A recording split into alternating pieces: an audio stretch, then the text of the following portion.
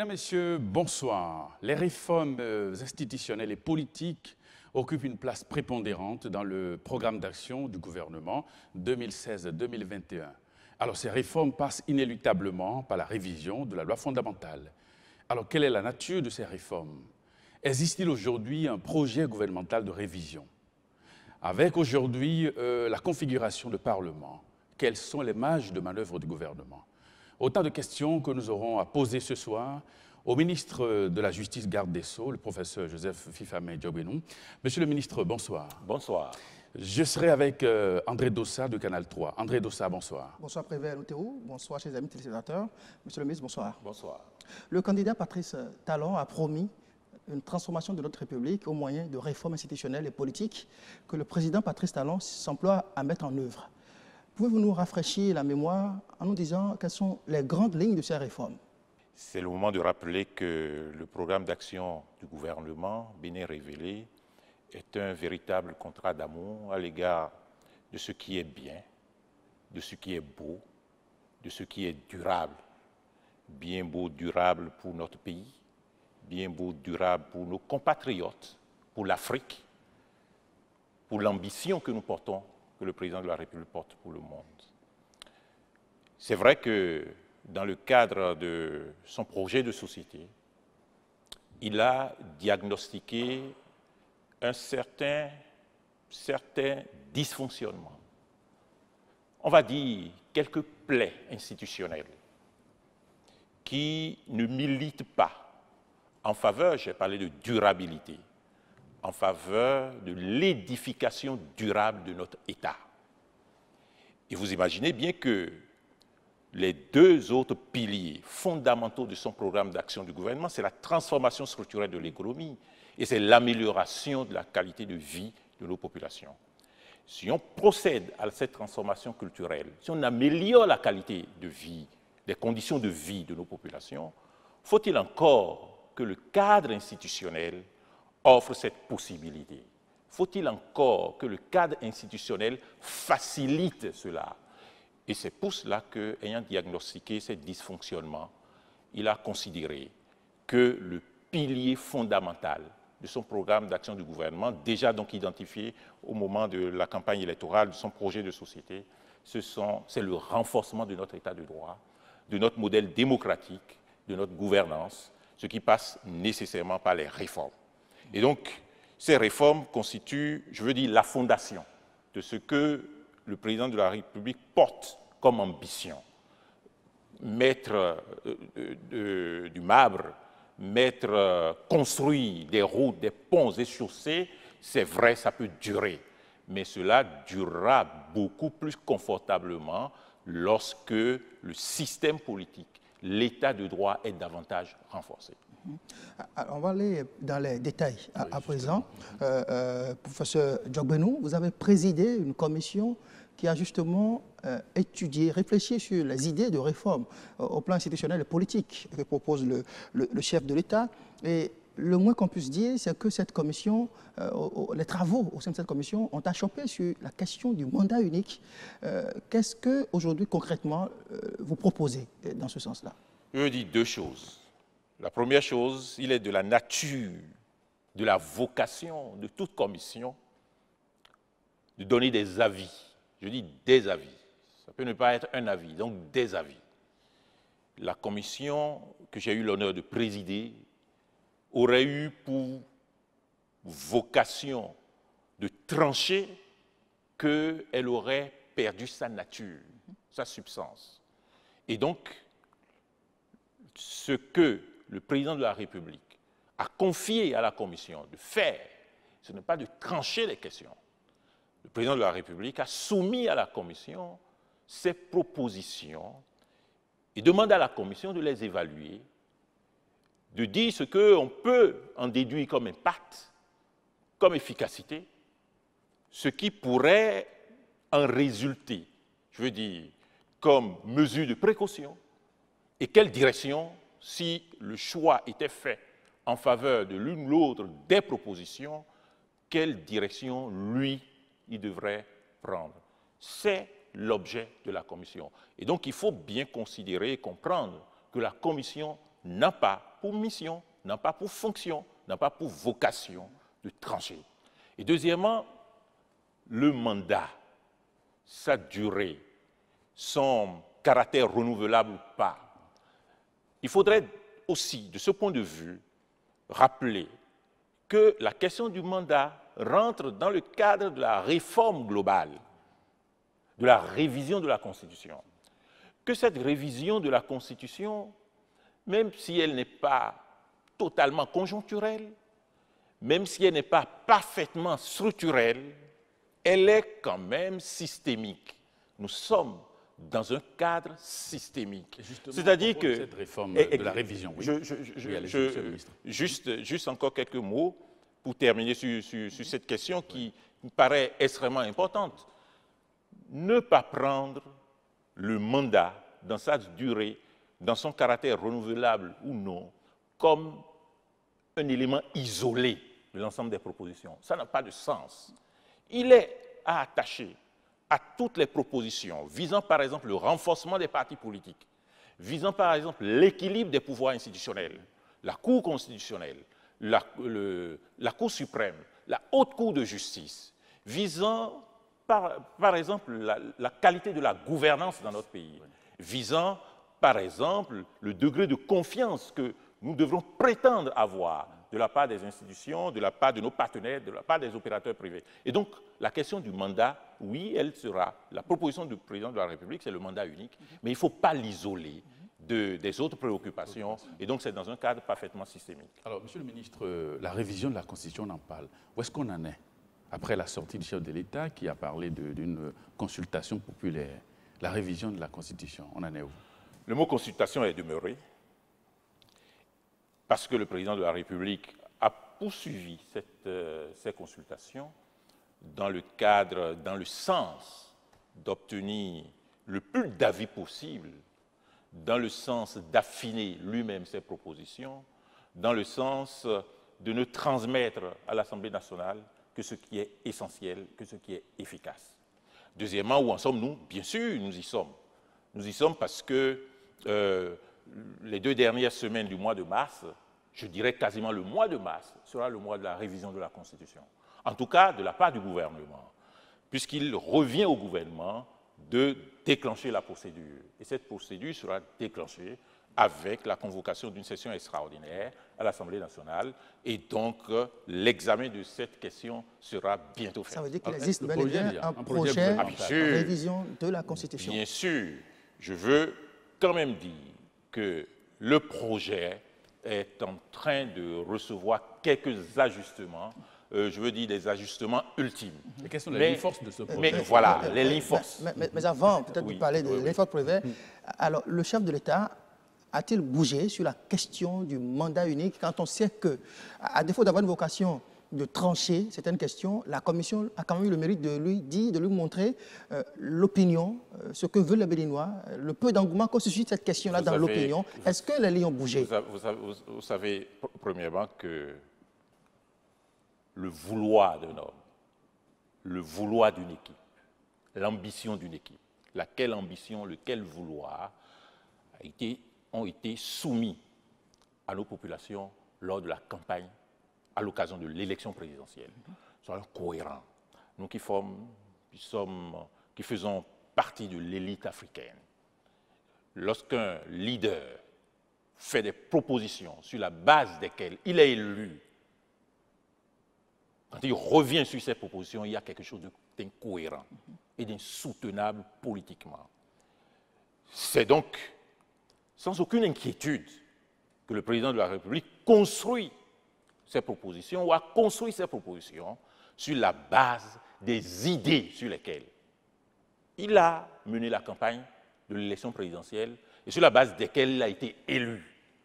Parce qu'il faut éviter, je veux dire, euh, cette forme euh, d'inceste politique, cette forme de faute politique qui consisterait à dire quelque chose jour 1, à en être élu et à dire quelque chose d'autre jour 2. Deuxième précision, je suis quand même le président de la commission. Je suis, le, risque de voir son projet échouer? Je suis quand même le président de la commission. Vous dites des choses sur lesquelles je, suis, vous allez me permettre tout au moins de, de revenir. Tout à fait. On ne dit pas, dit pas à des personnes d'un certain niveau comme vous qu'elles manquent à la vérité. Donc quand même, vous glissez un peu sur la vérité. vous glissez un peu sur la vérité parce que, euh, évidemment, il y a différents... Nous sommes quand même au Bénin, mhm. Où, l'unanimité n'existe sur, aucune question. C'est notre qualité, c'est notre chance, que quelle que soit la situation, nous sommes dans une pluralité d'opinions, de diversité de comportements. Et de ce point de vue, oui, dans la commission, chacun a émis son avis. Et il n'est pas dit que les avis défavorables étaient plus importants que les avis favorables. Mais donc a dit maintenant que la commission a proposé, non, elle n'a pas proposé. Que la commission a commenté, oui. Que la commission a analysé, oui. Que la commission a précisé que, quelles que soient les hypothèses, il y a des mesures d'accompagnement à, à, prendre, oui et que le président de la République a tranché dans ses propositions, oui, et que l'Assemblée nationale aura finalement à trancher, oui. Et donc, sur la proposition du gouvernement, du président de la République, oui, c'est le mandat unique. On reviendra tout à l'heure encore sur la question du mandat unique. Mais, euh, monsieur le ministre, euh, quelles sont les lignes forces de ce projet gouvernemental de révision? C'est ce qui intéresse les Béninois. Sur quoi portera la révision? Vous savez, la qualité d'un modèle politique, d'un modèle démocratique, c'est d'inspirer confiance. la première chose. Inspirer confiance aux opérateurs, inspirer confiance aux partenaires, faire en sorte qu'il y ait beaucoup plus de prévisibilité dans la réaction institutionnelle, dans le comportement des hommes politiques, ce que malheureusement nous n'avons pas encore. Deuxièmement, c'est assurer une protection efficace des, citoyens, euh, au plan juridique, au plan judiciaire, au plan de la citoyenneté euh, euh, de manière générale, au plan de la possibilité de mener des activités économiques, la protection de l'initiative privée, l'être, l'avoir. Et troisièmement, c'est de faire en sorte, finalement, que l'État soit au service des citoyens. Alors, sur la base de ces éléments, le président de la République envisage de soumettre à l'Assemblée nationale, dans ses propositions, des solutions qui inspirent confiance, deuxièmement, qui protège le citoyen, troisièmement, et qui met l'État au service du citoyen. Quelles sont ces solutions? D'abord, renforcer les prérogatives des institutions de contrepoids. Faire en sorte, par exemple, que la Cour constitutionnelle soit davantage renforcée. Elle, est renforcée dans la durée de son mandat, 9 ans désormais, si cette proposition est, est acceptée. Renforcée dans la capitalisation de l'expérience. Parce que 9 ans, vous avez, vous aurez des membres de la Cour constitutionnelle qui ne brûleraient pas sur le champ politique le peu d'expérience, cinq ans qu'ils auront, et qu'ils mettraient fondamentalement au service de la République. Mais faire en sorte que le renouvellement à l'intérieur ne s'effectue pas d'un seul trait, renouvellement par tiers. Je reviendrai sur, le détail. La Cour suprême. Vous savez qu'aujourd'hui, que le président de la République nomme le président, de la Cour, suprême. À l'avenir, si les propositions du président de la République étaient acceptées, le président de la République sera élu par les membres de la, Cour suprême. Le président, je veux dire, le président de la République sera élu par les concitoyens, bien entendu. Mais le président de la Cour suprême sera élu par les magistrats composant la Cour suprême. Lequel président de la Cour suprême sera à l'avenir le président du Conseil supérieur de la magistrature, qui est l'organe plus généralement d'administration, de prévention, de sanction en ce qui concerne les magistrats surtout, et qui a un regard beaucoup plus, je veux dire, euh, euh, on va dire professionnel, n'est-ce pas, euh, beaucoup plus élevé, beaucoup plus élevé sur le fonctionnement de la justice. Et donc, le président de la République se retire, le président de la Cour suprême devient président du Conseil supérieur de la magistrature. On va dire quelque chose qui vous intéresse, la haute autorité de l'audiovisuel de la communication. Vous savez qu'en ce moment-là, pendant que nous parlons, sous la Constitution qui nous gouverne, le président de la République désigne trois des, je crois, trois représentants à la, haute autorité de l'audiovisuel de la communication. À l'avenir, si ces propositions sont acceptées, le président de la République en désignera désormais un. Les professionnels récupéreront ces deux, les deux possibilités du président de la République. Donc, réforme générale, surtout attelée au système partisan. Le système partisan qui sera renforcé avec, euh, bien sûr, la proposition à inscrire, dont le principe sera inscrit dans la constitution du financement public. On va en parler plus, amplement. On observe que le président de la République propose que l'on dépouille euh, le président de la République, le chef de l'État, de certain nombre de ses prérogatives. Quel est l'intérêt? Voyez, les éléments de langage ne sont pas appropriés. Quand vous me dites que le président de la République propose de dépouiller le président de la République, vous allez me dire, bon, il a proposé de dépouiller le président de la République de son pouvoir de nomination des hauts cadres. Vous n'avez pas ça. Il a proposé de dépouiller le président de la République de sa prérogative de présider le Conseil des ministres. Vous n'avez pas ça. Il a proposé de dépouiller le président de la République. de dépouiller sa prérogative de présider le CSM, le Conseil supérieur de la magistrature, de nommer. Voilà. Non, pas, exactement cela. Nous avons, nous avons une. nous avons, nous avons un, de nous avons un choix à faire. Nous avons un choix à faire de nous mesurer aux grandes démocraties parce que nous nous considérons comme étant un État grand ou de nous mesurer aux démocraties qui sont, et pour leur bonheur, dans un état d'apprentissage. Le président de la République a considéré que nous avons besoin d'une justice respectable, d'une justice, on ne va pas oser le mot forte, mais d'une justice de qualité. La question que vous voudrez vous poser est de savoir quelle, euh, quelle est l'efficacité de la présence du président de la République au Conseil supérieur de la magistrature. Qu'est-ce que quel rôle ça joue? Est-ce que cela, élève la qualité de la justice, élève la qualité de l'État? Combien, quand il est là, le président de la République, euh, euh, Patrice Salon, a siégé au Conseil supérieur de la magistrature? Combien de fois euh, les anciens présidents, quand ils étaient en fonction, siégeaient au Conseil supérieur de la magistrature? Je vais vous dire. Hein. Est-ce qu'on la présence une république des juges, monsieur le ministre? Vous prenez vous prenez, pouvoir vous, prenez un cas isolé. Vous ne vous êtes pas interrogé sur les, prérogatives du Conseil supérieur de la magistrature. Le Conseil, puisque c'est ce cas que vous prenez, euh, seulement faire en sorte que le président de la République, que le président de la Cour suprême préside le Conseil supérieur de la magistrature, n'est pas de d'élever, je veux dire, de construire une république des juges. La République des juges, peut-être vous en avez déjà, parce que nous, avons, nous allons parler tout à l'heure de la, de la carte judiciaire. Absolument. Tous les États créent de nouvelles juridictions. C'est parce qu'ils ont intérêt à créer de nouvelles juridictions. Et le nôtre aussi. Donc ce n'est pas parce que l'on aura remplacé le président de la République par le président de la Cour suprême au Conseil supérieur de la Cour. C'est tout à fait le contraire. Parce que la composition ne sera pas une composition de corps. Parce que les prérogatives ne seront pas une des prérogatives de, manière, la manière la plus absolue sur, les juges, parce qu'il y aura un organe de contrôle de, l'activité de la magistrature. Actuellement, c'est l'inspection générale des services judiciaires. On ne vous a pas dit que le président de la République euh, euh, se dépouille de son autorité sur l'inspection des services judiciaires et que cette autorité serait transférée au Conseil supérieur de la magistrature. Donc il y a sans doute beaucoup plus de rumeurs, d'appréhension, de crainte, et vous savez bien, euh, qui craint de souffrir souffre déjà de ce qu'il craint. Avant de, passer donc à la question attenante à l'indépendance de la justice, nous allons faire un tour à la régie pour vous proposer cet élément euh, euh, témoin qui nous permet de voir un peu les réactions, recueillir les réactions des acteurs judiciaires.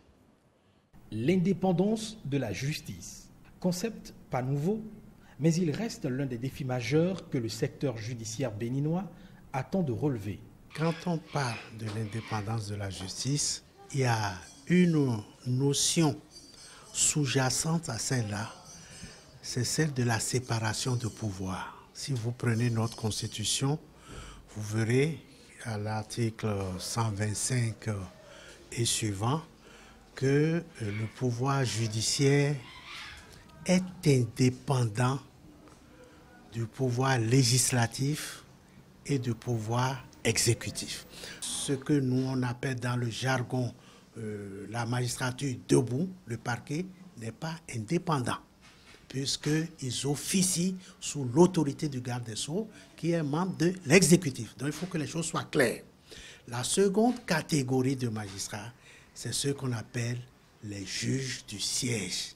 La magistrature assise, hein, c'est les juges, les juges d'instance, hein, les juges d'appel et les juges de la Cour suprême. Ceux-là, ils sont véritablement indépendants dans l'exercice de leurs fonctions. Euh, si vous observez la vie politique euh, de ces dernières années dans notre pays, il y a toujours une volonté du pouvoir exécutif de s'asseoir sur tous les pouvoirs et en particulier euh, d'instrumentaliser la justice. Et vous avez vu, la justice a toujours résisté, a toujours été au rendez-vous euh, des grands événements et a toujours montré euh, peu ou prou une certaine indépendance, s'est toujours affranchi de la tutelle ou du joug sous lequel les pouvoirs euh, ont toujours tenté euh, de la mettre. Pour changer de paradigme, des réformes se font indispensables dans le domaine. Dans le deuxième axe, des réformes institutionnelles annoncées et proposées par la commission Jobbenou, renforcer l'indépendance de la justice reste le principal chantier à explorer. En prime, figure le Conseil supérieur de la magistrature. Quand vous voyez un président de la République qui est chef de l'exécutif et qui doit encore présider ce Conseil supérieur de la magistrature, c'est comme s'il y a une émission de l'exécutif dans le judiciaire. Ça, là, au moins, on peut sortir, de mon point de vue, le président de la République du Conseil supérieur de la magistrature, surtout qui a son représentant, le ministre de la Justice, le garde des Sceaux, qui en est membre. Personnellement, je suis euh, d'autant plus contre euh, la présence du garde des Sceaux euh, que l'indépendance voulue postule qu'un membre de l'exécutif soit en dehors de ce qui se passe. je critique d'ailleurs déjà la hiérarchie pesante du garde des Sceaux sur le parquet. Vous savez, c'est cette catégorie de magistrats supposés défendre les intérêts de la société, mais qui se trouve sous la coupe quasiment du garde des Sceaux, qui a le pouvoir de leur donner des instructions et de les obliger à aller dans un sens, ce qui trouble déjà euh, le fonctionnement d'une justice euh, indépendante. Pour ce qui est des suggestions faites par la commission Jobbenou au sujet de l'élection du président de la Cour suprême, là encore, les avis ne font pas défaut. Euh, à la tête de la Cour suprême, il faut un juge, pas forcément un magistrat, je crois, mais quelqu'un d'indépendant ayant une personnalité affirmée, tranchée, puisque la Cour suprême fixe euh, l'interprétation du droit. Donc, ça ne doit pas être un politique. Or, quand vous parlez d'élection, vous parlez forcément de politique. Et on trouvera à la tête euh, de cette institution quelqu'un qui aura réussi à séduire la plupart de ses collègues et on n'aura pas le résultat voulu. donc je pense que c'est un moins bon système que celui actuel. Nous sommes sur un terrain professionnel, pratique, où la connaissance professionnelle, l'autorité intellectuelle moi, va plus que euh, celui qui fait beaucoup de promesses, celui qui et on va les lire pour avoir. Moi, je crois, de mon point de vue, que pour les magistrats, notamment à la Cour suprême, un mode de désignation suivant des critères bien précis par nomination me paraît plus indiqué qu'une élection. Avec les réformes annoncées, ce sont autant d'aspects de la justice béninoise qui vont être améliorés. Seulement, des reproches sont déjà formulés contre le travail de la commission. Il faut temps, il faut observer, il faut consulter la plupart des acteurs, ce qui n'a pas été fait. Consulter les peuples, consulter le peuple, consulter les acteurs dans différents secteurs, je veux dire des sociologues, des ethnologues, euh, les chefferies, euh, afin de, euh, faire une synthèse de ce que nous voulons comme fonctionnement de nos institutions, y compris judiciaires ou juridictionnelles, avant que de proposer quoi que ce soit. Renforcer son indépendance, plus qu'un slogan, il reste l'un des grands challenges pour la maison justice. Et sur bien des paramètres, le débat public semble impérieux. Alors, Monsieur le ministre, euh, l'indépendance euh, de la justice, euh, comment la garantir au regard des, réformes annoncées? Oh, J'ai suivi avec vous les pertinentes observations qui ont été faites. Hein nul ne saurait être un fondamentaliste dans, les propositions. Euh, le président de la République a fait un choix et tout choix est par hypothèse d'élimination.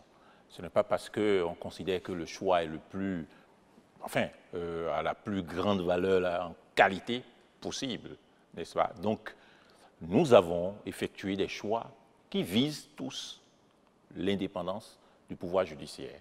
C'est un pouvoir Et nous le faisons pourquoi? Nous le faisons parce que euh, euh, euh, la qualité des relations avec les opérateurs publics, privés notamment, avec les citoyens, cette qualité des relations dépend de la qualité de, de la production de notre justice et de la qualité de, de, ses prérogatives, de la pertinence de ses prérogatives. Et donc cela a une vertu économique, comme cela a une vertu de protection des droits humains. Vous savez, quoi qu'on dise, ce que l'on attend d'un juge, c'est la cohérence dans sa décision. Au fond, au plan moral, on ne dit pas fondamentalement qu'il faut que la décision soit meilleure, meilleure possible. Il faut qu'un juge sache rendre une décision qui soit cohérente avec sa décision, qu'un tribunal soit cohérent avec sa décision pour permettre à l'opérateur privé d'anticiper sur le comportement possible d'une juridiction lorsque des, situations similaires ou semblables euh, viendraient à être euh, connues de, cette juridiction. Et c'est pour cela qu'il faut renforcer les, tribunaux, le pouvoir judiciaire, afin d'assurer cette cohérence, bien entendu en accompagnant cela de la qualité euh, des membres des tribunaux, le renforcement de leur capacité à, bien rendre les décisions. Donc nous avons un besoin de renforcement, d'établir la passerelle entre la justice et l'économie, d'établir la passerelle entre la justice et la protection des droits humains, d'établir la passerelle entre la justice simplement et le citoyen et nos amis. Et pour cela, il faut une justice prévisible. Et si on n'arrive pas à la voir, eh bien, on resterait dans un degré d'incertitude plus élevé. Et tous les États qui restent dans un degré d'incertitude au plan judiciaire plus élevé sont des États pour lesquels l'investissement coûte trop cher.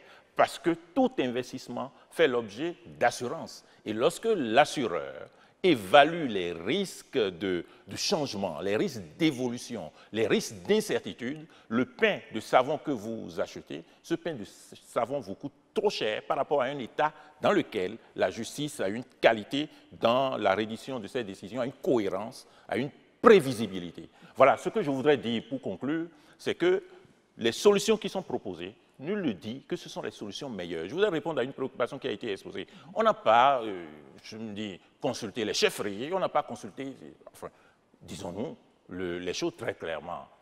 Nous ne sommes pas dans la réécriture de la Constitution. Nous ne sommes pas dans la fondation d'une nouvelle République. Nous ne sommes pas dans la remise en cause générale. Et donc, nous n'avons pas besoin de considérer les états généraux de, la République encore. Et, de ce point de vue, je voudrais rappeler à chacun que le candidat Patrice Talon a été le seul qui a fait véritablement des propositions sur des points précis et que ces propositions, pendant la campagne électorale, ont été évaluées, ont été appréciées.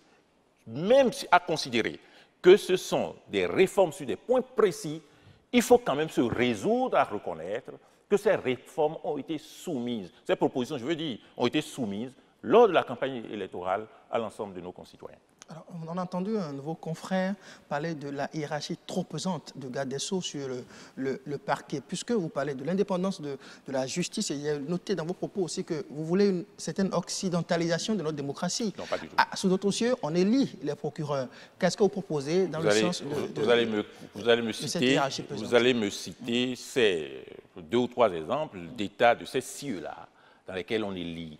Je veux vous dire ceci aux États-Unis, par exemple. Oui, mais nous n'avons pas le même système. Mhm. Nous avons un système romano-germanique, hein, voyez-vous.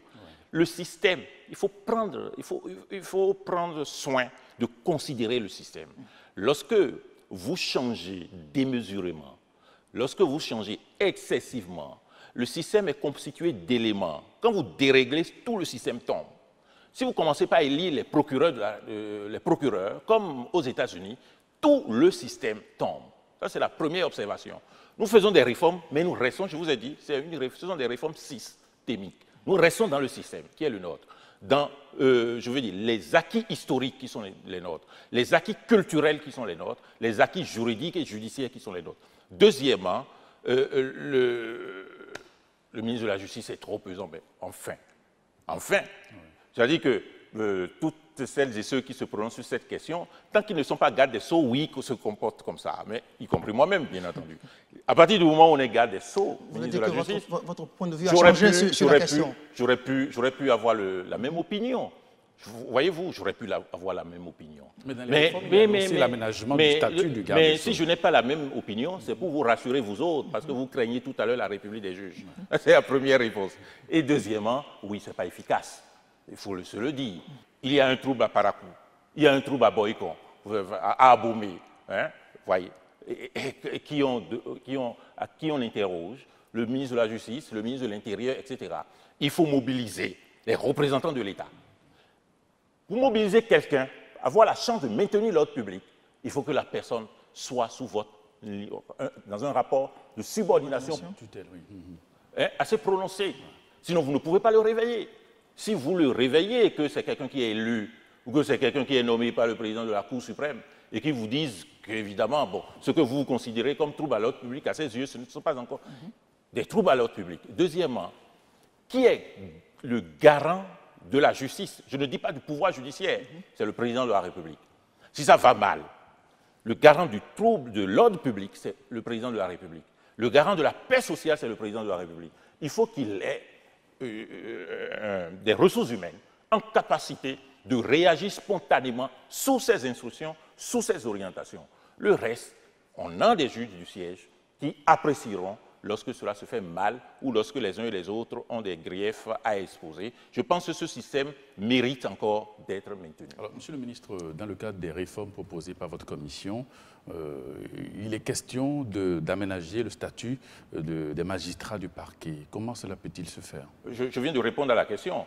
Il n'est pas question d'aménager, de réaménager le statut des magistrats du parquet. Les magistrats du parquet resteront pour, euh, autant que faire se peut magistrats du parquet. Euh, vous savez, l'histoire du parquet, c'est quoi? Le parquet, c'est un espace dans lequel se retrouvaient toutes celles et ceux qui défendent, donc y compris les avocats.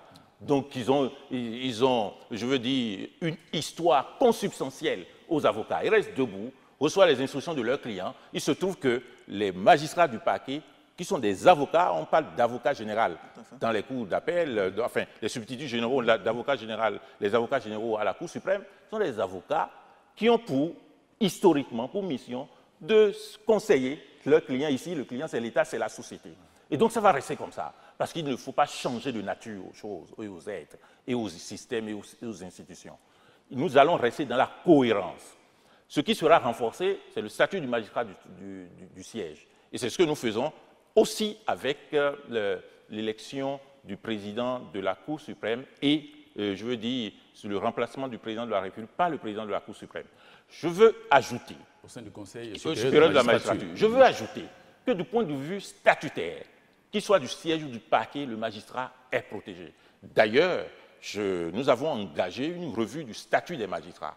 Nous avons mis en place un groupe de travail sur lequel, euh, euh, euh, sur ce sujet-là, de sorte à élever, je veux dire, la, qualité de vie professionnelle, on va dire, des, magistrats. Donc, qu'ils soient du parquet ou du siège, les magistrats sont sous un régime statutaire, le statut les protège, les règles déontologiques sont les mêmes, et le Conseil supérieur de la magistrature assure la même protection, une protection égale à l'égard des magistrats du siège et du parquet.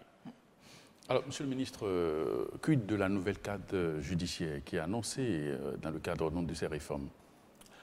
C'est une cadre renouvelée, c'est une carte renouvelée, c'est une carte progressivement étendue, c'est une carte dont l'objectif principal est de, premièrement, de rapprocher la justice du justiciable, Deuxièmement, trouver des solutions aux difficultés économiques, aux besoins de satisfaction d'une justice économique.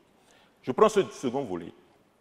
Ce second volet nous a conduit à obtenir de l'Assemblée nationale la loi portant modification de celle relative à l'organisation judiciaire dans le sens de la création des juridictions de commerce. Et consécutivement, la réforme du, Code de procédure civile pour affecter aux juridictions du commerce tout ce qui est relatif à la procédure civile. Concrètement, nous aurons trois cours d'appel, deux commerces, détachés donc de la cour d'appel de droit commun, trois cours d'appel de commerce. La première sera bientôt installée à Porto Novo et les deux autres, Abomey et Paracou. Nous aurons pareillement trois tribunaux de commerce. Tribunal de commerce de Cotonou, tribunal de commerce d'Abomey, tribunal de commerce de, de Paracou. Et la loi impose au gouvernement d'installer dans l'année de la promulgation, n'est-ce pas, le tribunal de commerce de, Cotonou et la cour d'appel de commerce de, Porto Novo. Actuellement, euh, les, organisations professionnelles des commerçants sont en train, me semble-t-il, d'achever la sélection des juges consulaires, à la fois au tribunal de commerce et à la cour d'appel. Et nous aussi, nous allons procéder, nous avons déjà procédé à un appel à candidature pour solliciter les, les manifestations d'intérêt sur tous les postes de juges ouverts cette année et aussi sur les juridictions de commerce. Et nous allons procéder à la sélection et nommer les juges et les installer. Alors, Monsieur le ministre, euh, il est également euh, prévu dans le cadre des réformes euh, la création de la Cour des comptes.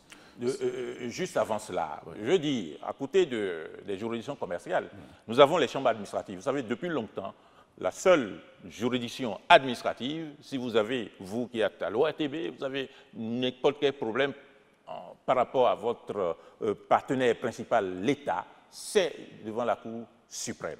Euh, or, la loi a déjà créé les chambres administratives. Nous avons mis en œuvre les chambres administratives dans les juridictions de première instance qui sont déjà fonctionnelles. Et eh bien, et donc, euh, et, deuxièmement, nous allons également, au cours de ce mandat, nous savons, la loi a créé 28 tribunaux de première instance. Nous avons 14 fonctionnels. Nous allons progressivement euh, mettre en place les autres tribunaux de, première instance. Alors sur la Cour des comptes, oui, c'est une... Euh, sur, cette Cour des comptes, je crois que la majorité est renforcée. Je ne dirais pas l'unanimité, n'est-ce pas? Et, donc ça fait l'objet aussi des propositions de, réforme du président de la République. Nous aurons donc une Cour des comptes, nous aurons des chambres régionales, des cours régionales de, comptes, n'est-ce pas, au niveau des cours d'appel, évidemment, sur le contrôle des comptes de l'État, le contrôle des comptes de nos municipalités, de nos services publics décentralisés, déconcentrés, etc., pour accroître la qualité de la gouvernance administrative, de la gouvernance financière surtout. Euh, je voudrais savoir comment vous réagissez aux, inquiétudes exprimées par votre confrère, Maître Abraham Zessenoro, qui est plusieurs ancien président de la Cour suprême, sur le mode de désignation des futurs euh, euh, présidents de la Cour suprême. Apparemment, l'élection qui est proposée ne lui paraît pas assez efficace. Quand on fait, il faut déterminer l'objectif et rechercher les instruments qui permettent d'atteindre cet objectif. L'objectif, c'est de sortir la justice de l'imprévisibilité, de l'incertitude, de l'insaisissabilité. C'est de faire donc en sorte que, et lui-même il a dit, qu'il y ait moins d'emprise du pouvoir exécutif sur le pouvoir euh, judiciaire. Quand on parle de pouvoir, ce sont des institutions qui ont la volonté de leur, euh, enfin, qui expriment leur volonté, comme le pouvoir exécutif. de ce point de vue, il faut faire en sorte que le pouvoir judiciaire devienne davantage un pouvoir et sorte de cette euh, considération d'autorité judiciaire. Et cela passe, si c'est cet objectif-là, quels sont les instruments? Euh, Certains proposent que le président de la République, qu'on garde la main, peut-être au moyen d'un, je veux dire, d'un critère hein, sur la base desquels il va procéder à la nomination. Est-ce que ce faisant, vous atteignez l'objectif, qui est de diminuer l'emprise du président de la République Alors, par quel autre moyen? Par quel autre moyen on peut diminuer l'emprise du président de la République, hypothétique, du président de la République, sur le, pouvoir judiciaire au travers de la, de la, désignation du président de la Cour suprême et du président du Conseil supérieur de la magistrature? Fatalement, je ne dis pas que c'est la meilleure chose, mais fatalement, nous en venons à l'élection. Mais il y a deux types d'élections il est possible de dire que le président de la Cour suprême sera élu par tous les magistrats. Là, c'est l'approche politique fondamentale, je ne suis pas favorable. Et, le président de la République non plus. Mais il est possible de dire quand même que pour aller à de considérer que pour aller à la Cour suprême, il, faut remplir certaines conditions, en termes de grade, en termes d'ancienneté, etc. Et sans doute, grade d'ancienneté présume, ce n'est pas vrai dans tous les cas, la qualité. Et donc, quand on y nomme des magistrats qui ont rempli cette condition, il est possible de dire, si ces magistrats à la Cour suprême procèdent à une nomination, probablement, ce sera la personne ayant le charisme, le, niveau, la qualité. Et je veux ajouter que dans les propositions, il est fixé des critères. Des critères. Avoir tel nombre d'expériences, de présence, de grade, de niveau. Et donc, les critères sont dans le test de proposition de, révision, mais les critères seront également dans euh, la loi portant, euh, euh, je veux dire, relative à la Cour suprême, et aussi tous les autres tests accompagnant le, fonctionnement de nos juridictions, notamment de la Cour suprême. Monsieur le ministre, que du, du statut juridique des dirigeants? De ce point de vue, nous sommes dans une proposition qui, dans des propositions qui vont dans le sens d'allègement et euh, d'accroissement, je peux dire ainsi, d'extension de la responsabilité du dirigeant. Quand on parle du dirigeant, on va dire dirigeant politique. On va parler du président de la République. on va parler des membres du gouvernement. On va parler des députés à l'Assemblée nationale. Mhm. Premièrement, il y a une revue du régime de l'immunité. Deuxièmement, il y a une revue de la haute cour de justice. Euh, euh, beaucoup de personnes ont craint la, la, suppression. Non, il n'y aura pas de suppression. En tout cas, ce n'est pas la quasiment une institution. Ce n'est pas, la proposition, pas la proposition du président de la République. Il y aura une autre cour de justice, mais les aménagements seront faits afin que la Cour de justice ne soit véritablement cour et n'exerce qu'au moment où il y a un dossier. Mais ils se feront de quelle manière ces aménagements pour, la, pour rendre cette institution? Vous, vous, aurez, Ce sont des aménagements de procédure, ce sont des aménagements de, liés à la revue de la loi organique sur la haute Cour de justice. Mais quelques solutions sont apportées dans la, pour proposition. La rendre finalement fonctionnelle. Absolument, quelques propositions sont apportées dans quelques solutions sont apportées dans les propositions que nous avons faites. Le régime des membres du gouvernement se distingue entre un régime du membre du gouvernement en fonction et du membre du gouvernement qui n'est plus en fonction, se distingue aussi des actes commis à l'occasion ou dans le cadre de l'exercice de ces fonctions et des actes commis hors l'exercice de ces fonctions. Suivant l'un ou l'autre cas, vous avez les juridictions ordinaires, vous avez les juridictions ordinaires suivant une procédure spéciale et vous avez aussi la haute cour de justice Et quelle aménagée. faites par vous par rapport dans le cas d'espèce? Non, ce sont les options, ce sont les solutions que je vous, ce sont les propositions. Les propositions que nous faisons vont dans le sens, en ce qui concerne à la fois le président de la République par ailleurs et les membres du gouvernement, dans la, la procédure. Oui, attendez, dans la considération premièrement de ce que le, le, président de la République ou les membres du gouvernement sont en fonction, le président de la République ou les membres du gouvernement ne sont pas en fonction, le président de la République ou les membres du gouvernement ont commis des actes totalement en dehors de leur fonction. Et les règles de procédure vont appuyer cela. Et les règles de procédure, c'est dans la loi portant organisation de la haute ou de justice. Je pense que nous aurons l'occasion d'en discuter. Ce, que je peux, ce dont je peux vous assurer, ce sont les règles du code pénal, euh, du code de procédure pénale qui seront appliquées. Et ce sont aussi les infractions à la fois prévues par la Constitution, aux trahisons, etc., mais aussi prévues par le Code pénal, les sanctions appliquées, retenues par le Code pénal qui seront, euh, qui seront appliquées. je profite, je ne sais pas si j'en aurai, j'aurai d'autres occasions, pour dire que nous engageons aussi la réforme du Code pénal que nous allons soumettre bientôt à l'Assemblée nationale. On observe, on observe que malgré la rupture, il y a quand même cet effort pour euh, donner des privilèges aux dirigeants, au, personnel politique qui accède à, des fonctions données. Pourquoi ne pas faire juger les gens comme Monsieur Tout le Monde Parce que monsieur tout, le, monsieur tout le Monde n'est pas dirigeant non plus. C'est-à-dire qu'il faut être cohérent. Il faut être cohérent. Vous voulez de l'efficacité dans l'action gouvernementale. Vous voulez que le ministre des Finances aille, je veux dire, à Rome, à Paris, à New York, n'est-ce pas, à Pékin, n'est-ce pas, et qu'il soit retenu au même moment pas un juge d'instruction sur une convocation dont on peut éventuellement euh, euh, évaluer la qualité. Si c'est cela que vous voulez, nous aurons un régime qui serait dans, un, une sorte de dysfonctionnement continu. Ce que l'on ne euh, le propose pas, c'est l'impunité organisée. Nous allons mettre fin à l'impunité à la fois, je veux dire, structurelle, issue de la Constitution du 11 décembre 1990. Pour, pour le moins, nous allons faire en sorte que les hommes et les femmes qui osent s'engager en politique, et pendant qu'ils exercent leurs fonctions, non pas qu'ils soient couverts par les infractions, par la justice, alors qu'ils ont commis des infractions, qu'ils en répondent. D'ailleurs, dans la proposition que nous faisons, lorsque un ministre, je veux dire, est inculpé, lorsque un président de la République est mis en accusation, les fonctions sont immédiatement suspendues. Donc nous avons fait des propositions dans le sens de la lutte contre l'impunité, de la lutte contre la corruption, de la lutte pour la bonne gouvernance, mais il faut aussi assurer la cohésion, la cohérence la solidité de l'action gouvernementale. Lorsqu'il s'agit de l'immunité parlementaire, en ce moment-là, qu'est-ce qui va changer? L'immunité parlementaire, premièrement, va rester. Euh, parce que quand il, il, faut, il, faut, il faut satisfaire toutes les, euh, je veux dire, toutes les préoccupations. La première préoccupation, c'est de faire en sorte que le député, qui est un homme politique, qui peut être pour ou contre le gouvernement, n'est-ce pas, ait la faculté et la possibilité, sans aucune crainte, de s'exprimer. L'immunité, pour cela, va rester. Il faut qu'il soit dans son mouvement, dans son existence, il soit inviolable.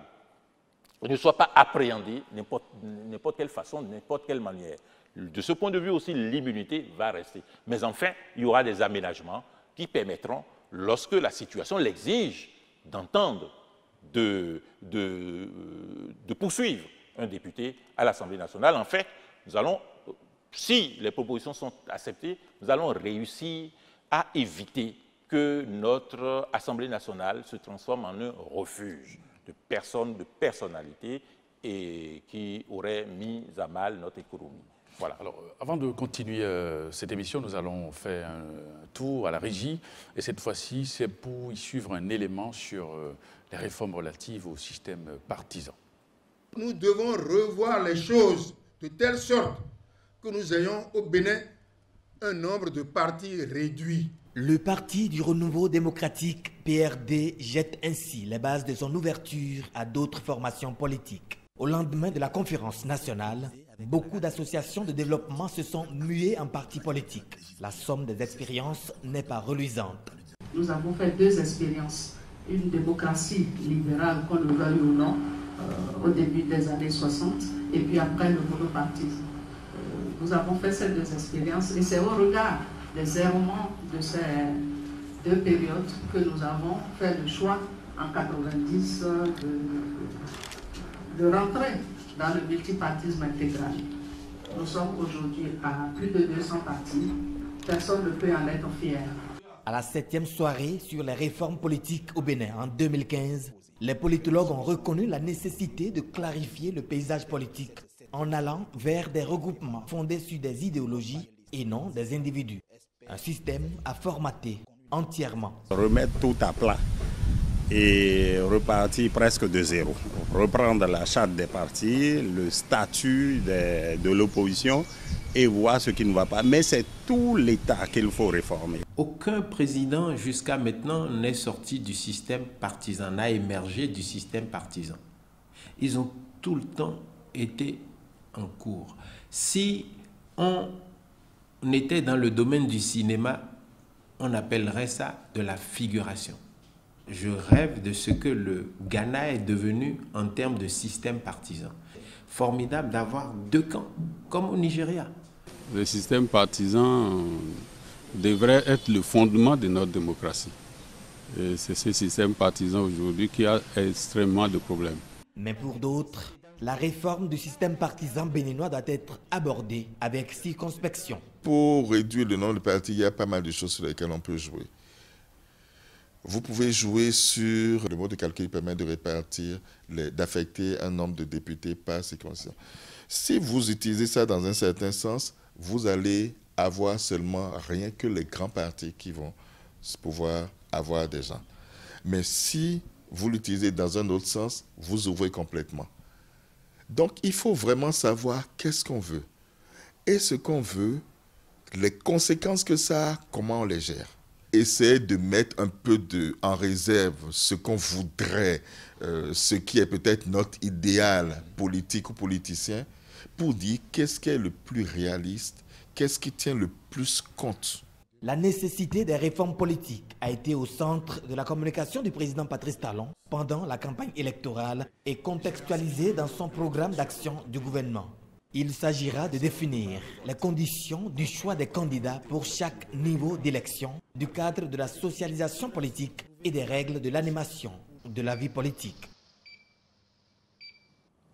Alors, Monsieur le ministre, euh, comment faire aujourd'hui pour donner un nouveau souffle au système partisan béninois?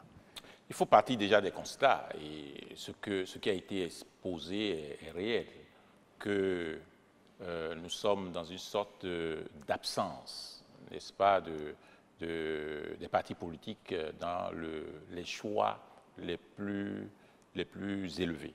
Et, et, que si nous avons encore des partis politiques qui se regroupent, c'est compte tenu des exigences des lois électorales et de, du contexte sociopolitique.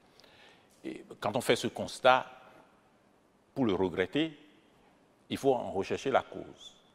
La cause aussi, c'est l'absence de financement des partis politiques. Euh, le fait effectivement que euh, pour gérer un parti politique, soit on compte sur un homme, ce qui n'est pas bon, soit on compte sur l'ensemble des, des, membres du parti, ce qui est illusoire dans notre contexte actuel. Et donc finalement, soit on est dans la situation qui n'est pas heureuse, soit on est dans la situation qui est dégradante. Et quand on fait ce deuxième constat, on dit aussi qu'il n'y a pas de démocratie sans parti politique. Il n'y a pas de démocratie sans système partisan. D'ailleurs, la présence de partis politiques euh, bien construits, qui fonctionnent correctement, est l'une des conditions de la lutte contre la corruption d'une manière générale, pour la transparence ensuite, et surtout que dans tous les mots que nous déplorons, dans, je veux dire, dans l'environnement politique. Et donc, quand on fait ces trois points, on dit qu'il y a une nécessité d'aller au secours des partis politiques. C'est l'État qui gagne. Le président de la République a choisi de renforcer les partis politiques par des réformes qu'il espère qui seront acceptées, les propositions qui seront acceptées, parce qu'il sait que déjà, c'est l'État qui en profite. Ce sont nos administrations qui en profitent. C'est notre économie. Ce sont des ressources que nous perdons excessivement dans les périodes électorales, que nous économisons pour des travaux d'intérêt commun. Alors, de ce point de vue, sa solution, c'est quoi? Premièrement, dans la Constitution, régler la question du financement des partis politiques en proposant qu'il soit établi le principe dans la Constitution que l'État doit mettre à la disposition des partis politiques un fonds qui les accompagne. Lui-même, pendant la campagne électorale, il l'a il, déjà proposé. Et dans le programme d'action du gouvernement, cela a été inscrit. Mais il faut que la réforme, la révision de la Constitution permette de modifier légèrement l'article 5 de la Constitution pour inscrire cette obligation du gouvernement à accompagner. Deuxièmement, la loi.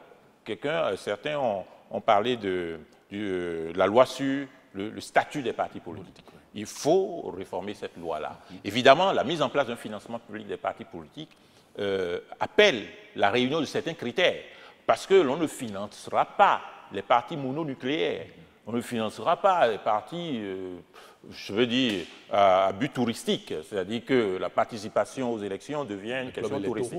Alors, on financera, l'État financera les partis qui ont une dimension nationale et qui, euh, dans leur représentativité à l'Assemblée nationale, excèdent euh, le socle sur lequel, initialement, ils ont été bâtis. Quelles sont les propositions concrètes que vous faites dans ce, dans ce sens? Je veux vous dire qu'il y a proposé, par exemple, un double critère.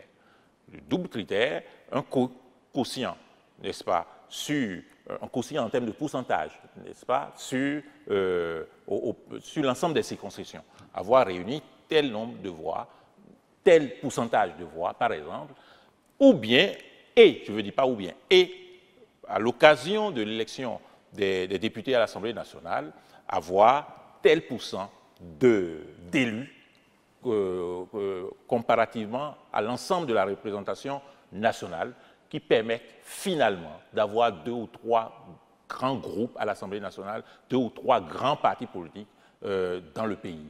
Et parce que le financement sera consistant, parce que l'État portera son regard sur la gestion de ces fonds publics, vous écoutez ce qui se passe ailleurs.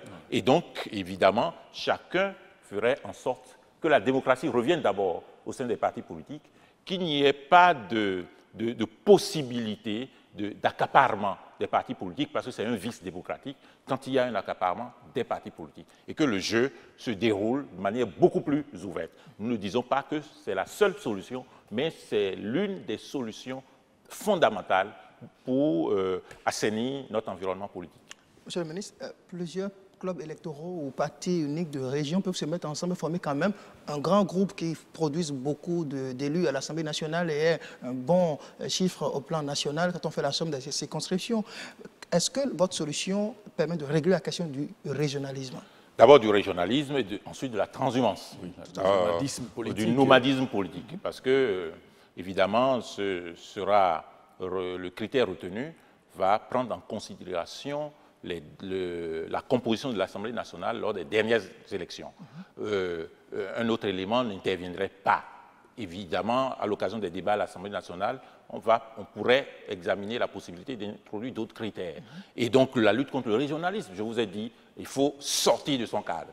Euh, l'enfant qui veut aller loin doit franchir les portes de sa maison. Un parti politique qui veut rayonner sur le pays doit franchir les portes de sa maison.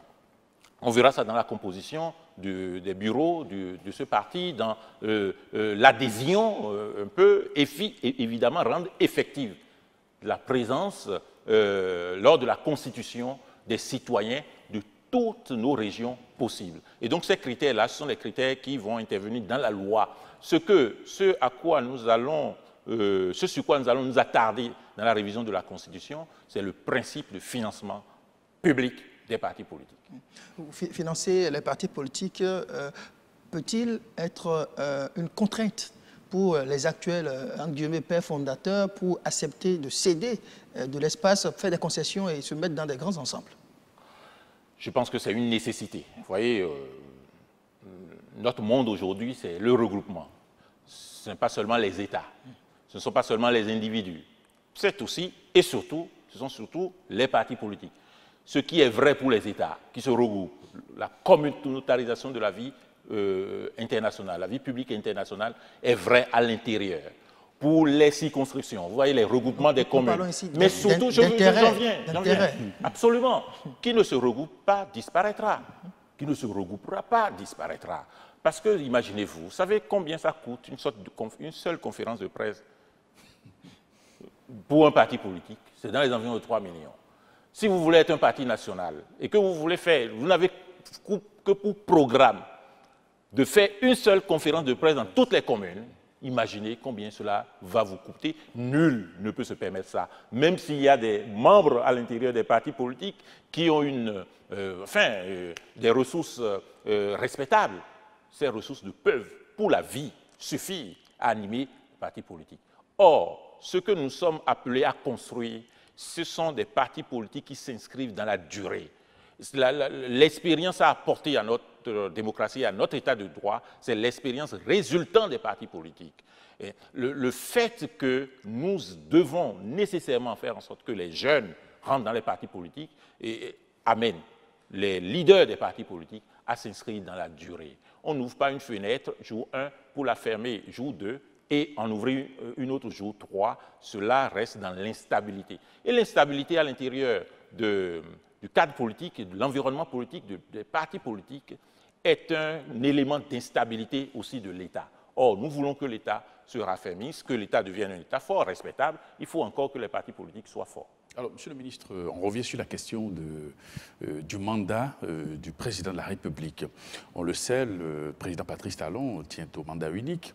Et on pourrait même dire que la gouvernance actuelle, avec la facilité dans les réformes, dans les secteurs où par le passé, on n'osait pas bouger, aujourd'hui, il bouge. Alors, est-ce qu'on peut dire que c'est suffisant pour valider votre proposition de mandat unique? Ah, Premièrement, ce n'est pas suffisant. Si le mandat unique suffisait, on n'allait pas faire la réforme, on n'allait pas proposer la réforme de la Cour constitutionnelle, du Conseil supérieur de la magistrature, de la Cour suprême, de la haute autorité de la réforme du système partisan. Je vous ai dit, ce n'est pas une espèce isolée. C'est une réponse à l'intérieur d'un cadre. Deuxièmement, évidemment, c'est une proposition parmi tant d'autres. et surtout sur les griefs que l'on fait au, euh, au, mandat unique. Je vais vous dire deux ou trois choses. Premièrement, lorsque nous étions en 1990, la conférence nationale, nous sommes au mois de février, c'est heureux que cette émission se tienne, une forme de célébration de ce souvenir formidable de, 1990. Quand vous voyez la, géographie politique du monde, vous allez sortir combien de pays avaient le mandat 5 ans renouvelable une seule fois? Ce sont très peu.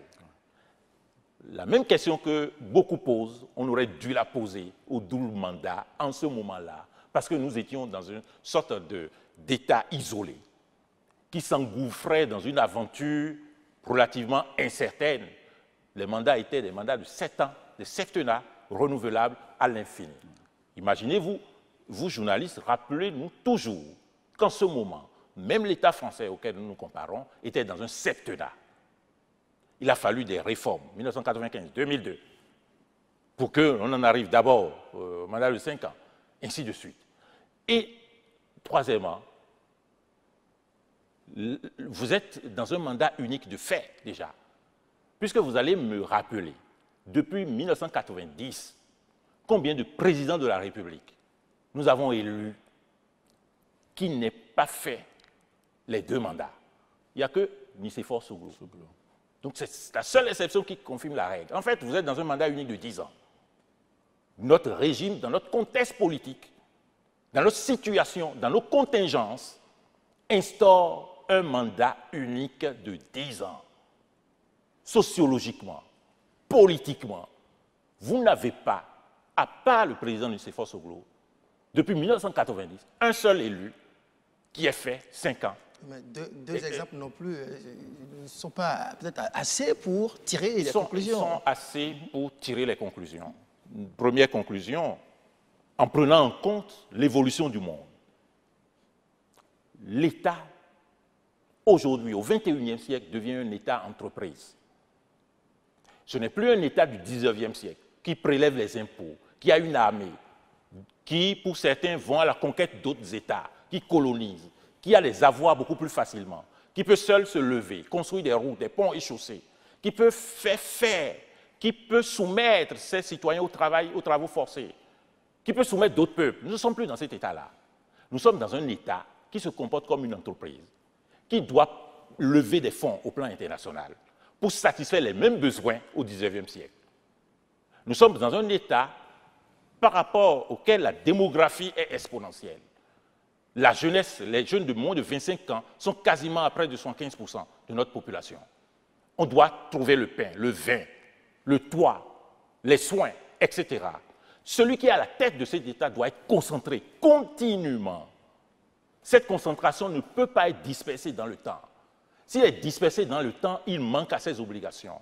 Et si vous regardez les États africains, c'est ce à quoi nous faisons face. Je ne dis pas, et le président de la République ne dit pas que c'est la meilleure solution ce qu'il faut dire, ce qu'il faut considérer, entre deux biens, quel est le meilleur Ce n'est pas ça qu'il faut considérer. Entre deux mots, quel est le moindre C'est ça qu'il faut considérer. Si nous partons de l'hypothèse que renouvelable est un mal, disons aussi que mandat unique est aussi un mal. Mais qui est le moindre mal? Lequel des deux mots est le moindre? Si vous réglez la question, vous allez dire finalement, parce que nous voulons une institution, nous voulons un État qui ait la confiance des autres, un État dans lequel on peut investir. Nous avons un programme partenariat public-privé, durabilité, un État dans lequel le gouvernement ne fait plus tout, un État dans lequel les espaces publics ne sont pas occupés par un homme, c'est son image, dans lequel on ne cultive pas la personne, on cultive l'institution, vous allez me dire, entre ces deux mots-là, quel est le moins Mais que répondez-vous répondez à, ceux qui pensent que euh, le mandat unique euh, serait peut-être euh, une réponse à la faillite du régime de fin Non, pas du tout. Pas du tout cela. Il n'y a pas que le régime des fins. il n'y a pas que le régime que nous avons, auquel nous avons succédé. Il y a aussi les autres régimes. Il y a aussi les autres régimes africains. Il y a aussi les autres régimes au plan mondial qui ont le, le système du renouvellement à l'infini vous allez faire un exercice, euh, euh, euh, chers amis, vous allez faire un exercice de la cartographie politique du monde. Vous allez identifier les États dans lesquels les mandats sont renouvelables, vous allez voir, à l'exception de quelques-uns, leur marge de progression économique, leur marge de structuration de la société et leur capacité de répondre aux besoins. celui qui dirige doit être concentré. Celui qui dirige doit s'inscrire de plus en plus, et ce sont les exigences de ce monde dans lequel nous, vivons, dans une sorte de finitude absolue, pour être concentré, pour avoir les réponses qu'il faut au moment opportun aux problèmes qui se posent à ses concitoyens.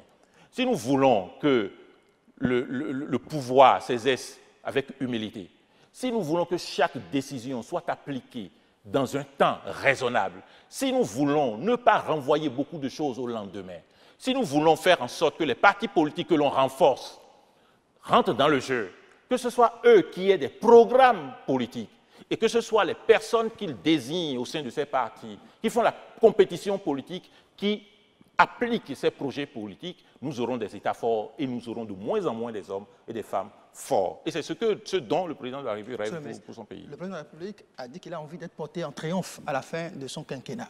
Mais pourquoi donc veut-il priver le peuple des performances qui auraient amené ce dernier à le porter en triomphe? Je dis, vous savez, n'oubliez pas ce qui est pertinent, ce qui est efficace. En toute vérité, il faut regretter effectivement qu'un homme bon parte. Il faut préférer regretter qu'un homme ou une femme très correct, très bon, vous quitte que d'avoir souffert d'un homme mauvais qui dure. On n'exclut pas qu'il y ait un président qui soit bon, mais qui fasse 56 ans, mais qui parte. Et, pourquoi donc? Et, je voudrais vous dire, mm-hmm. laissez-moi terminer, finir avec, euh, avec cette, idée-là. Vous allez, vous allez aussi faire une recherche pertinente. Parmi les hommes, pendant, pendant un siècle, qui dirigent les pays, vous allez retenir combien de fois on a des hommes bons, des femmes très correctes à la tête des États. Si vous arrivez pour un siècle dans un État qui a eu 10, 20 présidents, si vous arrivez à avoir le tiers que les peuples ont retenu, qui soit très bon, alors notre réforme ne passera pas. Mais si vous considérez qu'on a rarement des hommes bons, il faut dans le système institutionnel des forteresses, des garde-fous, pour que le plus mauvais, lorsqu'il sera là, qui ne détruise pas tout. C'est le, le, fondement, la fondation, l'orientation des propositions que nous faisons. Ne disons pas qu'il y aurait des hommes ou des femmes bons, des hommes et des femmes bons, parce que les jeunes élèves nous suivent. Hein? C'est la conjonction de coordination qui m'amène à dire les hommes et les femmes bons. Et donc, nous, il n'est pas exclu que nous ayons des hommes et des femmes bons, mais nous avons très peu de chances d'en avoir tous bons et d'en avoir majoritairement bons à la tête de notre pays. Nous, le président de la République y compris, il dit attendez d'abord la fin de mon mandat. Si je suis bon, vous allez m'applaudir. Mais il faudrait, encore une fois, que les institutions trouvent des solutions, élèvent les garde-fous pour que nous n'ayons pas à souffrir dans la durée des hommes et des femmes mauvais. Monsieur le ministre, n'est pas non plus bon de... Euh, il, est, quand même intéressant aujourd'hui euh, d'encourager et de récompenser quelqu'un qui a fait un mandat unique, qui a réussi, en lui euh, donner un nouveau mandat, plutôt que de laisser la place à d'autres qui viendront entraîner le pays dans la catastrophe. Bien sûr, nous avons toujours dit ça. Hein et, vous ne l'aurez pas dans tous les États africains. Une seule élection euh, présidentielle qui n'ait pas évoqué ces arguments-là. Et vous savez dans quel État nos pays, nos États se trouvent. Si c'est cet argument-là, vous avez dans tous les États, je ne vais pas, vous, vous pas citer. que si les pères fondateurs des États-Unis avaient réfléchi ici, ils n'auraient pas connu les Roosevelt et consorts. Non, mais je vous dis que nous sommes dans un monde qui change avec les fonctions de l'État, qui change avec euh, euh, comment, le modèle de l'État. Vous voyez, le modèle de l'État. Aujourd'hui, l'État s'assoit et signe une convention avec un opérateur privé. Vous n'avez pas ça au XVIIIe siècle. Vous n'avez pas ça au XVIIIe siècle. L'État s'engage. L'État doit chercher quotidiennement. Nous sommes combien? Nous sommes plus de 10 millions aujourd'hui. En 1960, 1 million 5, 2 millions, nous étions. Il n'y a pas un seul espace de notre territoire qui est augmenté. Mais par rapport à la démographie, les êtres, les Béninoises et les Béninois de 1960 ont des besoins moins importants que les Béninoises et les Béninois de 2016, de 2017. Le président de la République de 1960 s'est débrouillé pour satisfaire, dans la mesure de ses possibilités, ses besoins. Le président de la République de 2017 doit se débrouiller autrement. Regardez le temps, en une journée, il n'y a que 24 heures. Vous avez offert 24 heures à ce président de la République de 1960, vous offrez 24 heures à ce président de la République de 1921. Il doit être plus concentré, répondre aux préoccupations du plus grand nombre. Il faut lui donner des, je veux dire, un cadre institutionnel pour faire en sorte que le jus qui sort de sa pensée soit un jus capable d'être, enfin, doux, de grande qualité. Il ne faut pas diluer cela dans le temps. C'est l'objectif que poursuit le président de la République. D'accord. Alors, Monsieur le ministre, euh, nous avions opté pour la LEPI, euh, mais on est toujours euh, en face de plusieurs défis, la modernisation et la stabilisation de notre code électoral. Que proposez-vous dans le cadre des réformes à ce sujet? Ça fera l'objet non pas de... Ce n'est pas inscrit dans la Constitution, n'est-ce pas, le, la réforme de notre système électoral. Mais enfin, ça a déjà commencé, avec dans le programme d'action du gouvernement, euh, euh, ce projet qui, en plus, est un projet phare de dématérialisation de toute l'administration, de l'identification de chaque béninois. Ça règle les questions de la vie quotidienne, les questions de l'emploi, les questions de, de, de lien que l'on a avec le monde, mais ça règle essentiellement aussi les questions électorales. Deuxièmement, évidemment, on va réformer le code électoral. Évidemment, on va revoir les structures électorales. Évidemment, éventuellement, le, euh, la Sénat va, euh, je veux dire, aura des prérogatives renouvelées. Évidemment, l'administration va jouer sa partition de manière beaucoup plus objective et beaucoup plus transparente. Et donc, sur ces sujets-là, il y aura la loi, mais il y a déjà la mise en œuvre du programme du gouvernement, dans le programme d'action du gouvernement, de ce projet consistant à dématérialiser euh, l'administration, euh, sur le numérique surtout, et avec ma collègue en charge du numérique. C'est la question de la stabilisation du code électoral, parce qu'au Bénin, à chaque élection, euh, son code électoral... Par, exemple, une institution comme le COSLEPI? Déjà, d'abord par rapport à la stabilisation. Oui, parce que chaque élection, un nouveau code Vous savez, électoral... quand, quand nous sommes dans la réforme, dans la révision de la Constitution, sur les mandats, nous apportons une réponse aussi en ce qui concerne la stabilisation du recours à l'élection, à l'outil électoral. Pourquoi? Parce que nous, le président de la République propose qu'il y ait des élections générales à l'avenir. Élections générales, euh, il qualifie d'élections générales les, élections, les élections des membres de l'Assemblée nationale et euh, les... du président de la Non, non, pas du tout. Les maires, les, maires, les, les élus locaux. exactement. Ces élections générales précéderont, deux ans avant, l'élection du président de la République si l'attelage est bien fait. De sorte qu'on répond à, une autre, à un autre grief. On n'aura jamais l'occasion de juger le président. Le seul jugement, c'est le jugement politique qui vaille. Nous avons déjà répondu à la responsabilité pénale du président de la République et des membres de son gouvernement. Si c'est le jugement politique, le fait de tenir les élections générales deux ans à mi-mandat quasiment permet aux citoyens soit d'approuver l'action du président de la République, soit de réprouver l'action du président de la République. Et c'est un élément aussi de stabilisation du jeu électoral. Sur la question de, de COSLEPI, ça va devenir quoi le fichier électoral national? Les, les, députés vont répondre parce que c'est une loi qui a instauré le COSLEPI et il vous souviendra que cette loi a été adoptée, c'est d'ailleurs une proposition de loi pour régler des questions circonstancielles, conjoncturelles. Est-ce que la conjoncture va durer? Nous allons poser la question également aux députés. Alors, j'ai envie de vous demander, comment allez-vous lever les options fondamentales de la Constitution, euh, puisque la question du mandat unique? Également, euh, je, vais revenir sur cette question-là, comment allez-vous lever les options fondamentales? Ça vous tient tellement à cœur. D'abord, le mandat unique n'est pas un mandat unique. C'est ce qui est unique qui contrarie la Constitution. C'est un jeu de mots. le mandat unique n'est pas un mandat unique.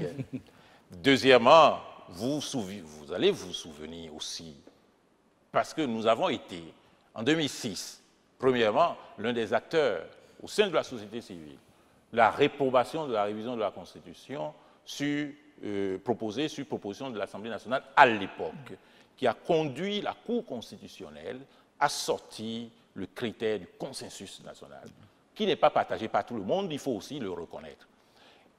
Et deuxièmement, vous allez aussi, en faisant un commentaire littéral, donc du test, hein, le, même peuple qui dit mandat de cinq ans, renouvelable, une fois, vous l'autorisez à faire une phrase longue et vous voulez lui refuser de faire une phrase courte. C'est-à-dire que la, la Constitution l'autorise à dire mandat de cinq ans. Il ajoute renouvelable, il ajoute une fois. Là, il a une permission.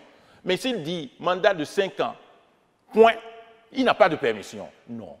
Euh, soit nous restons dans un cadre juridique, si nous n'avons pas les ressources, nous irons à l'école primaire et nous allons comprendre que celui qui a la capacité de faire une phrase longue a aussi la capacité de faire une phrase courte. Pour vous dire, en fait, que cette question euh, fait l'objet de, des interprétations doctrinales vraiment. Euh, bon, c'est dans la nature de la doctrine d'animer des controverses, mais c'est dans la capacité, dans la nature des hommes politiques de proposer des solutions. Et nous, allons, nous avons proposé des solutions. Comment, nous allons... comment feriez-vous euh, pour ramener la Cour constitutionnelle sur, son, sur sa jurisprudence? Mais la Cour constitutionnelle n'a pas encore examiné les propositions. Et nous n'avons pas, nous n'avons pas, le président de la République, constitutionnellement, n'a pas le, pouvoir de ramener une juridiction. Mais nous avons le pouvoir de convaincre.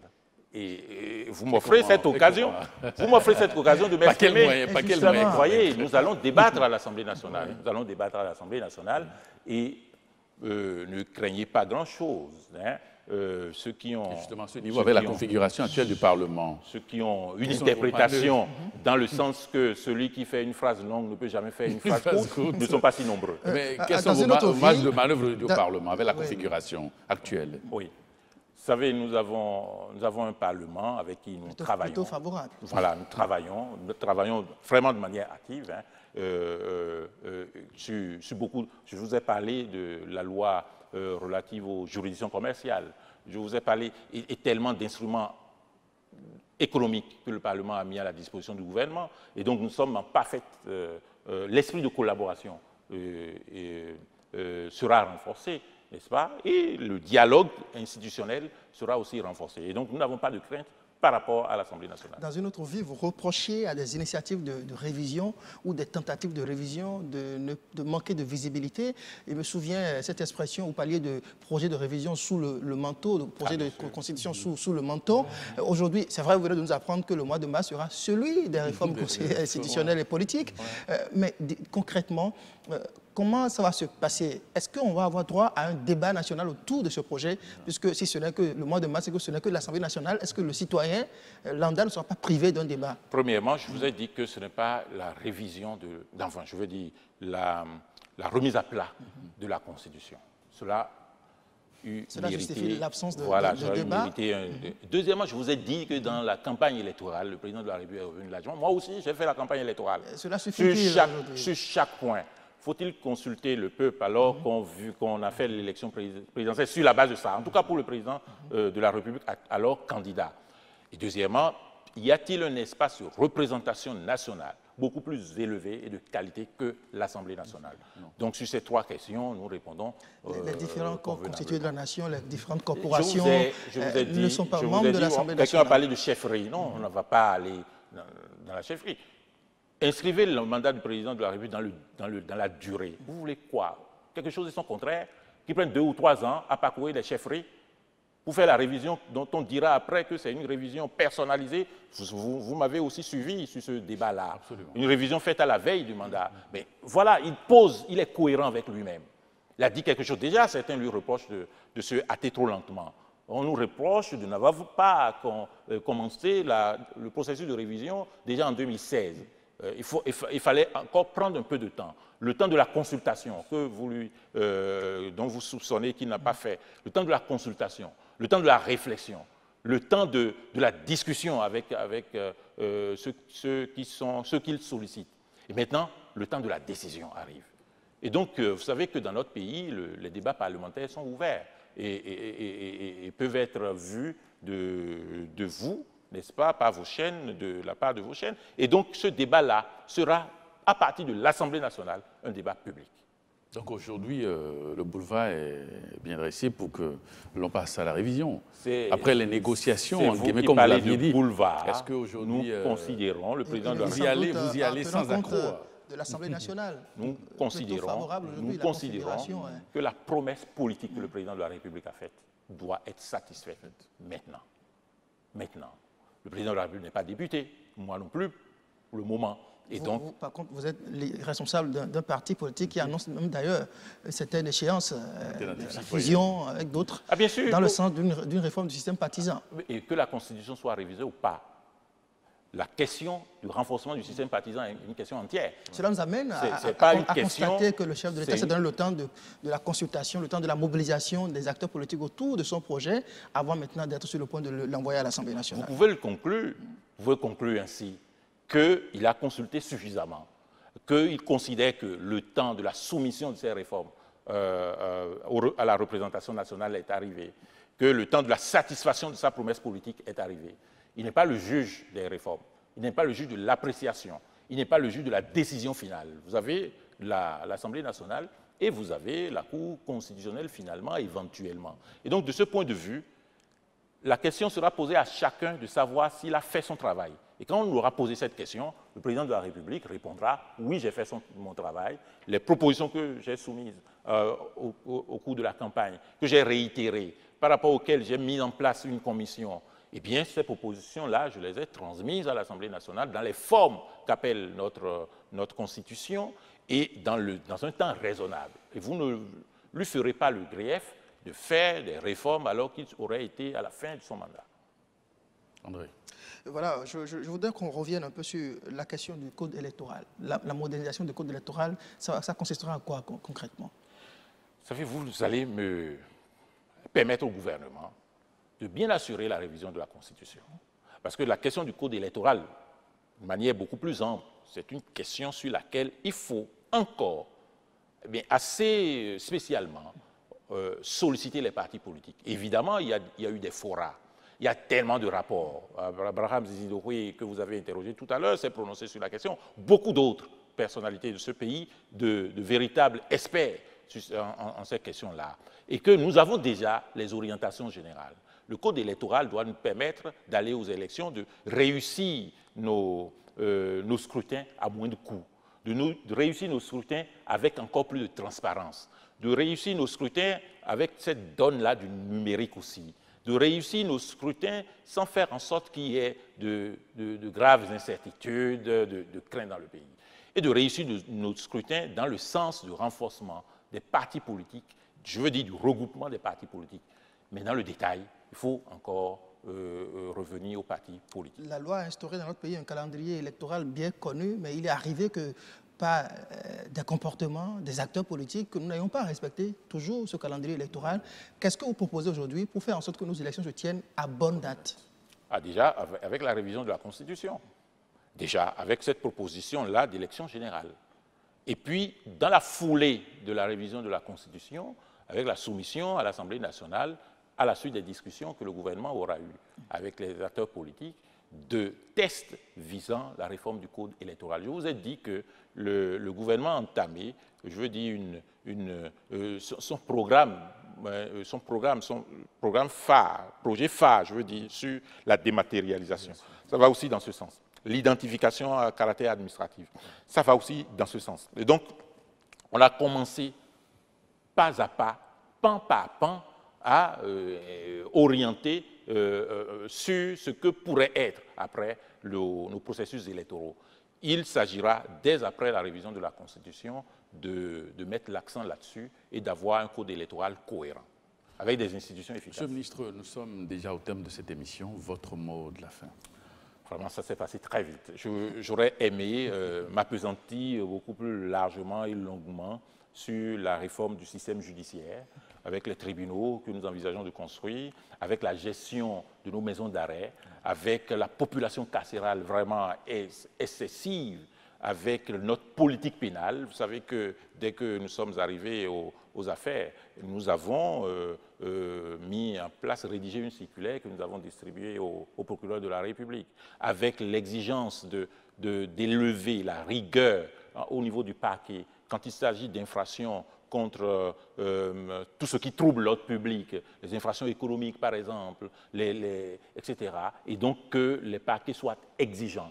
Mais quand il s'agit des infractions sur la vie, sur la survie, que l'État a la responsabilité de distribuer du pain et de l'eau, s'il s'agit des infractions dans ce sens, d'avoir une compréhension nécessaire, de désencourager. Comme j'aurais bien voulu vous c'est une question sur la commutation des peines des personnes condamnées à mort qui Nous sommes favorables, nous sommes favorables et au cabinet, nous sommes en train de mener la réflexion.